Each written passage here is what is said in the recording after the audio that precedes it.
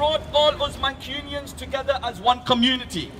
Regardless of faith, regardless of colour, not only us, but the whole of the UK and the whole world is behind us. And they are making us even stronger and stronger